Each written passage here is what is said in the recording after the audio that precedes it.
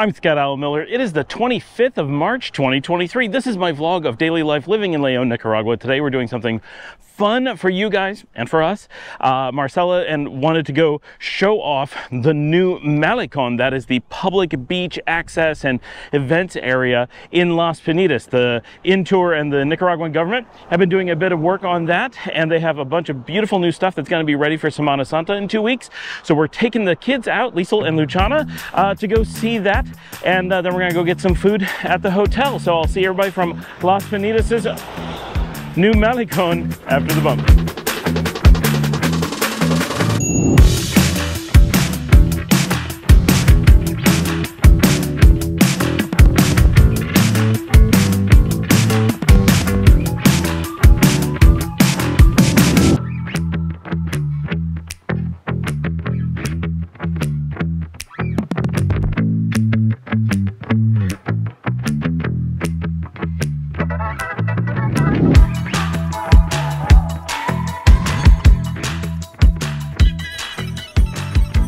All right, it is seriously hot and sunny.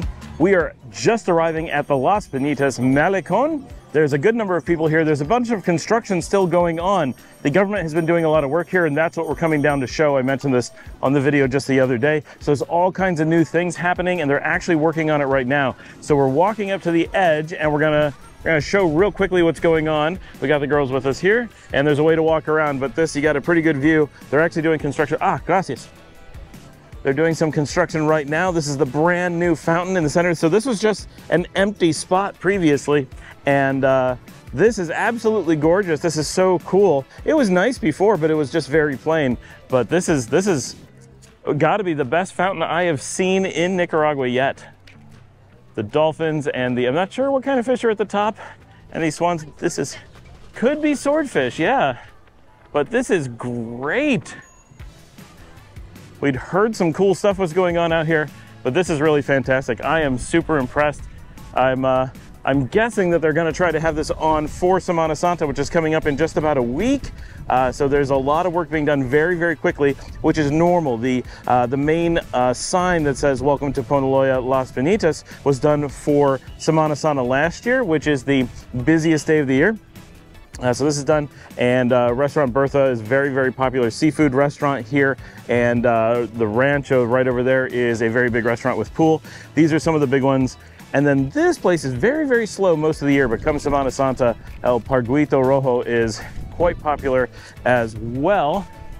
Then these beautiful steps these actually lead to Poneloya so a lot of people go up there to get shade, places to, to sit and eat or whatever, uh, but this is the transition zone. So if you go up there and just walk a little ways, you'll come into Poneloya's Malecon, which connects to this. So it's very nice that you kind of have everything uh, connected in such a nice way.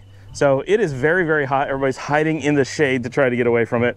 Now check this out, like everything's new. So we came down to check this out because uh, this was essentially basic. So, so like this grass and everything was here, the circle was here, the restaurants were here, but all these things are new. So these are beautiful new swings that are not quite in service yet. I'm sure they work.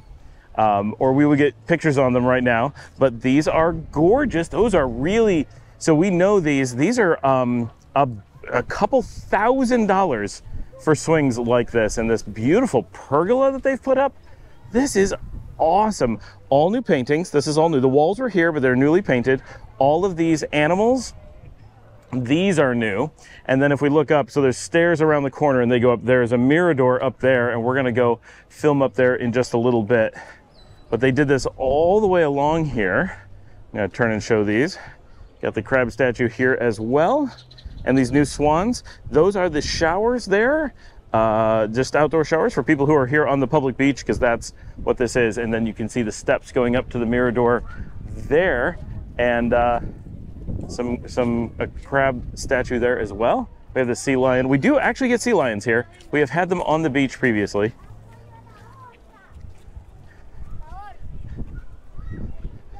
Ooh, we got some wind.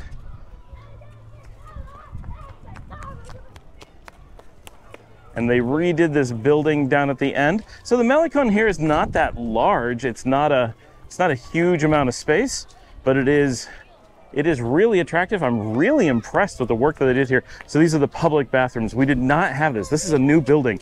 There was just, uh, if you watch my videos from two years ago, there was just a uh, uh, food cart parked here and they've put in this new public bathrooms. This is fantastic. And then this just goes out onto the beach and uh, you can see some of the hotels and things here past the edge of the Malecon. And they even painted the backside of this. Very cool. So this is very impressive. This is this is great. I'm really glad that we came out here. I'm hoping that the kids are enjoying this. We're going to head up there in just a little bit so you can see uh, what the Mirador has to offer. The uh, the famous cross of Las Peñitas is just past where those people are up on the rocks. I've done very little filming out here just for whatever reason, um, even though we lived here for a very long time. Uh, and I used to walk down here with the dogs all the time, but I wouldn't bring a camera when I did that. So this is a great opportunity to uh, to show off this great spot. All right, we are heading up to the Mirador. All right, I'm gonna do my best not to fall over as I head up the stairs myself. Uh, the kids are already pretty much at the top. It's not the it's not the wildest of views, but it is pretty nice. You get a lot of wind up here though. So I'm not gonna record audio, but they did put new stuff up here. They're in the process of putting new stuff. So we're gonna show that. And there's some new walkways. They've newly painted everything a lot of this has been here. There's some stairs or uh, some seating and stuff so you can just watch the ocean. It's just, it's beautiful up here. We have a new statue going in up here. All right, we did our adventure at the Malecon and discovered that Paul's unable to come back and pick us up, so we are walking to the hotel. Not what we were hoping for. Uh, it's very busy with traffic and parking and everything. Some new construction going on out here. I think this is part of the drainage system. Hola! And uh, something new here as well. Not much. We're just coming past Nile. That's what this is over here. Sorry for the wind again. This is this is really terrible. So I'm not going to do too much talking out here. But I just wanted to show where we are and show that we are now walking, having checked out the Malecon. We're heading down to our hotel for some lunch. We managed to find a ride for the girls, not enough space for me. So I'm walking down, but they're having a nice leisurely, leisurely tricycle ride.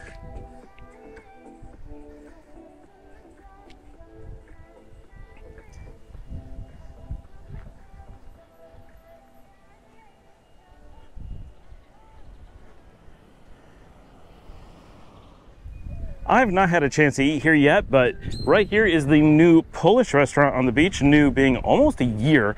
Honestly, it's been quite some time and uh, they've done a lovely job with the place. We watched it get built, it's friends of ours, and uh, for a long time they didn't have vegetarian options so we weren't coming down to try it but i understand that they have some stuff now. So some point pretty soon i hope because i'm never out on the beach i'm going to come down and give it a try and uh, film some of that for you guys but that's where it is pretty close to the north end of Las Peñitas holy cow is it hot out here? This is a long walk. I think it's about two kilometers which is not tragic but it's mostly exposed. It's out in the sun it is hot. We're, so I'm recording this a week before Semana Santa. So Semana Santa starts really soon and that is the busiest day uh, week of the year uh, but the week leading up to it tends to be a little bit of a lull people stop going out as they prepare to go out for the big holiday so this weekend is busy, but it's not incredibly busy. It's just kind of normal, pretty busy out on the beach. And so this is the walk that I used to do with the dogs all the time. I used to film this just constantly and uh, have not had a chance to come out and film here for quite some time. It's nice to uh, do the walk again after, uh, after a while of being away but I wish it wasn't such a hot day and I wish I wasn't doing it so close to noon. Like this is really not the best time to be doing this at all. I'm pretty close to the hotel. There are some new things, not a, not a ton of new to show. Like if you go back and watch my old episodes in Las Peñitas, they look pretty much the same. But this, they've got a new little, I mean, the building's been there, but that raised platform around the tree, it's really cute. And that was not there before. And we're just coming up on Caracolita, Caracolito, I should say, which is just a little snail. This is the hostel that we tend to send people to when we are full at the hotel. Mateo's place. A lot of great people there. This is where we did karaoke with Alan last week. And they do owe me a breakfast. so nice, uh, nice Caribbean styled hostel. If you're looking for a hostel here in Las Peñitas, great place to go. Very affordable. Buenas tardes. All right, we're coming around the bend here. This is the start of the curve. Caracolito kind of kicks off the busy part of the beach. You can't tell because it's a field next to it, but this is where life really begins. If you're looking for the lively Las Peñitas, this is the zone from here down to the corner. And uh, ooh, this is never open. I've never actually gotten to see in here very much. I'm gonna use the camera so that we can remember it later when I never get to see it again. And a lot of a lot of times in the old videos I filmed in here, but it didn't have all these walls and stuff. It was just an open space. And I filmed in that field a ton, which it's open again. I kind of want to go film there just for old time's sake. Here they're finishing the side of this house. That's nice. Every so often that gets rented out. So that's, uh, I think that's a new front wall, actually. I think it's not just refinishing it. I think they're redoing a little bit there. They took down the sign. There used to be a sign on this corner that pointed to things that had been gone for a long time. So it's nice to see that that came down. And uh, that's Puesta del Sol right there, the Italian restaurant. These beautiful pink flowers coming up over the wall. Wow. I hope the colors come through on the show. I'm nearly to the hotel. So this is the busiest restaurant in town for sure. They're always packed. Of course, it's middle of the day. This is not not the time they would be packed. And we're coming past, or coming up on, I should say, Playa Roca on the right. On the left is Mono Loco, the sandwich place. Uh, let me just show. This is a house that's owned by Playa Roca. It's a very nice house. And then this is Playa Roca here. Newly painted walls. So you guys have not seen this yet.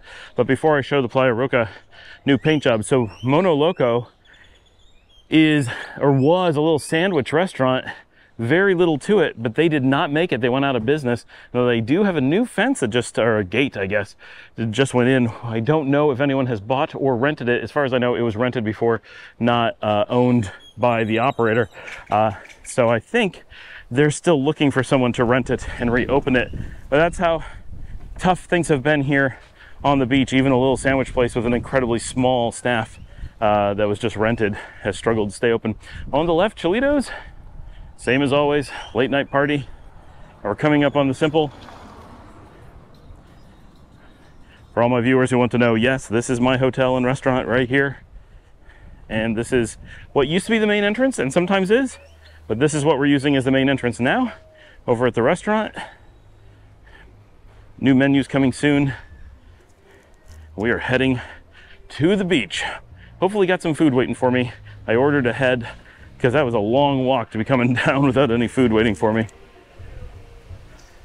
So we got to the hotel and the girls were waiting for me. We had already ordered dinner and we sat out on the beach and we had a really nice lunch and actually had a really nice time hanging out. They enjoyed, they didn't really like going to see the Malecon, but I think they're glad that they saw it because they never really knew what was there. I couldn't get them to go out to the cross, but it was nice coming out and seeing the beach and they enjoyed being able to come to the hotel and see that. They haven't been there for a while and we have kittens at the hotel, so they played with those for a while. And uh, when we left, uh, Luciana actually said, you know, we should come to the hotel more often. We had a nice time. I'll try not to get the dog poop in there. And uh, it was uh, it was a nice day. So we had a really nice time. Came home and relaxed, and I worked on some video stuff, and we watched TV and uh, had a more or less relaxing evening. We were all exhausted from yesterday, so our evening was just hanging out at the house, watched some movies. I watched, I've seen this before, but I watched completely in Spanish, Ocho Apellidos uh, Vasco, uh, which is the number one movie ever from Spain. It's in English often called The Spanish Affair, but very good comedy, like a rom-com. I like it a lot, and its sequel. Uh, it used to be on Netflix, but I don't think it's available anywhere, so we bought it on, on Apple TV, but it's one I've wanted to own for a while, so that was it, bought that hung out and uh, very relaxing evening here at the house. Thanks for joining me. Please remember to like and subscribe if you'd like to support the channel. Just look down there. We've got it, or probably up here. Buy me a coffee. Buymeacoffee.com slash Scott Alan Miller. And thank you so much to Javier who bought me 50 coffees uh, this week. Um, that so, so helps the channel. I have a couple big purchases coming up just to let you guys know what it is I'm thinking about buying.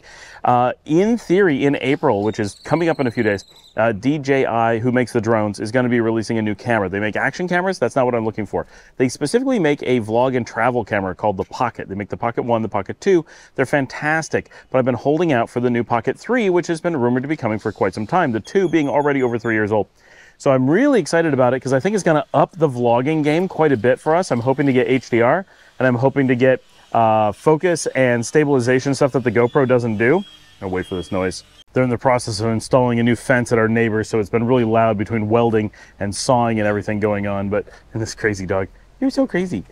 Um, so uh, uh, we had a nice evening. Oh, so the uh, the the Pocket 3, I'm really hopeful for that, and I really want a 360 camera. I'm hopeful that GoPro will finally get off their butts and bring out the Max 2, which will be the third generation of their 360 camera. But at this point, they've gone so long, it feels like they've abandoned that completely. And it may just not be coming. They've done so little to promote it, so little to keep their 360 ecosystem going that I'm about to give up on it. So I have, it looks like in the first week of July, I have a, a big block of stuff coming down from the United States and I'm going to be bringing cameras and batteries and all that down then. I have to make do with what I have until then. So I'll be replacing my GoPro Media Kit at that point, getting a bunch more batteries, like at least four. Really got to up my GoPro game because I don't get to get a new GoPro for at least probably and maybe in December. Um, but so if they don't have a 360 cam out by then, I'm going to I think switch to Insta 360 for that and just get. I, I hate it because I love the GoPro ecosystem. I'm so happy with them. But if they're not going to produce a camera I can use, my hands are tied. Insta360 X3 looks fantastic, and I think it's going to meet my needs really well. I just wanted to keep everything GoPro because you get the insurance and the return policies, and it all works through the same system. I wouldn't have to have any different mounts or anything, but uh, it is what it is. The Insta360 does have advantages that the GoPro doesn't currently, so I'm, I'm not completely upset that, to check out something new, but I was trying really hard to, uh, to stay with GoPro. Anyway, I can't handle the amount. There's there, I'm only getting a few seconds and they go for several minutes. Like and subscribe, share in social media. I will see all of you tomorrow.